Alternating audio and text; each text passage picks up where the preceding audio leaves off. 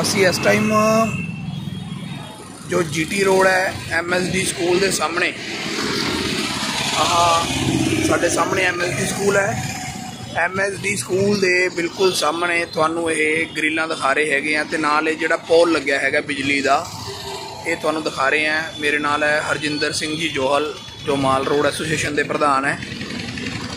ਇਹ ਆ ਮੇਰੇ ਹੱਥ ਵਿੱਚ ਟੈਸਟ ਪਿਨ ਹੈ।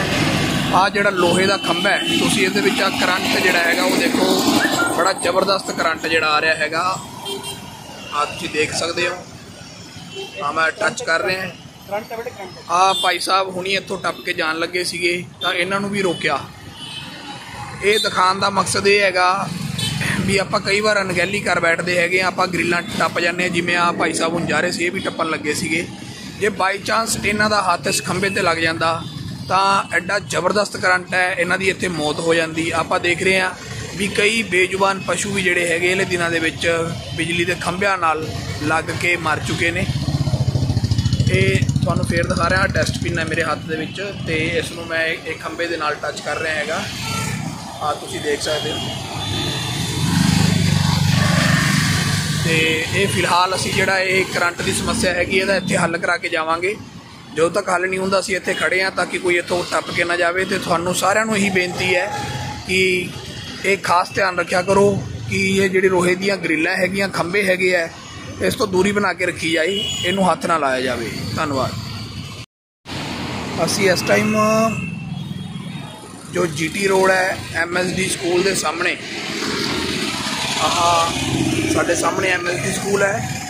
ਐਮਐਸਡੀ ਸਕੂਲ ਦੇ ਬਿਲਕੁਲ ਸਾਹਮਣੇ ਤੁਹਾਨੂੰ ਇਹ ਗ੍ਰਿਲਾਂ ਦਿਖਾ ਰਹੇ ਹੈਗੇ ਆ ਤੇ ਨਾਲ ਇਹ ਜਿਹੜਾ ਪੋਲ ਲੱਗਿਆ ਹੈਗਾ ਬਿਜਲੀ ਦਾ, ਇਹ ਤੁਹਾਨੂੰ ਦਿਖਾ ਰਹੇ ਆ। ਮੇਰੇ ਨਾਲ ਹੈ ਹਰਜਿੰਦਰ ਸਿੰਘ ਜੀ ਜੋਹਲ, ਜੋ ਮਾਲ ਰੋਡ ਐਸੋਸੀਏਸ਼ਨ ਦੇ ਪ੍ਰਧਾਨ ਹੈ।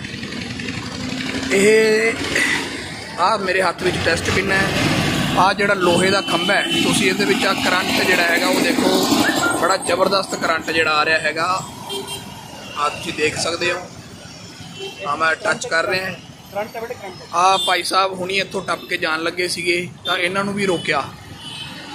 ਇਹ ਦਿਖਾਉਣ ਦਾ ਮਕਸਦ ਇਹ ਹੈਗਾ ਵੀ ਆਪਾਂ ਕਈ ਵਾਰ ਅਣਗਹਿਲੀ ਕਰ ਬੈਠਦੇ ਹੈਗੇ ਆ ਆਪਾਂ ਗ੍ਰਿਲਾਂ ਟੱਪ ਜਾਂਦੇ ਆ ਜਿਵੇਂ ਆ ਭਾਈ ਸਾਹਿਬ ਹੁਣ ਜਾ ਰਹੇ ਸੀ, ਇਹ ਵੀ ਟੱਪਣ ਲੱਗੇ ਸੀਗੇ।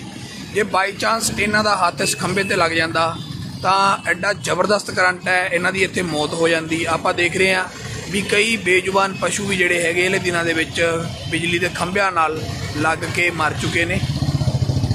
ਇਹ ਤੁਹਾਨੂੰ ਫੇਰ ਦਿਖਾ ਰਿਹਾ ਟੈਸਟ ਹੈ ਮੇਰੇ ਹੱਥ ਦੇ ਵਿੱਚ ਤੇ ਇਸ ਨੂੰ ਮੈਂ ਇੱਕ ਖੰਭੇ ਦੇ ਨਾਲ ਟੱਚ ਕਰ ਰਿਹਾ ਹੈਗਾ।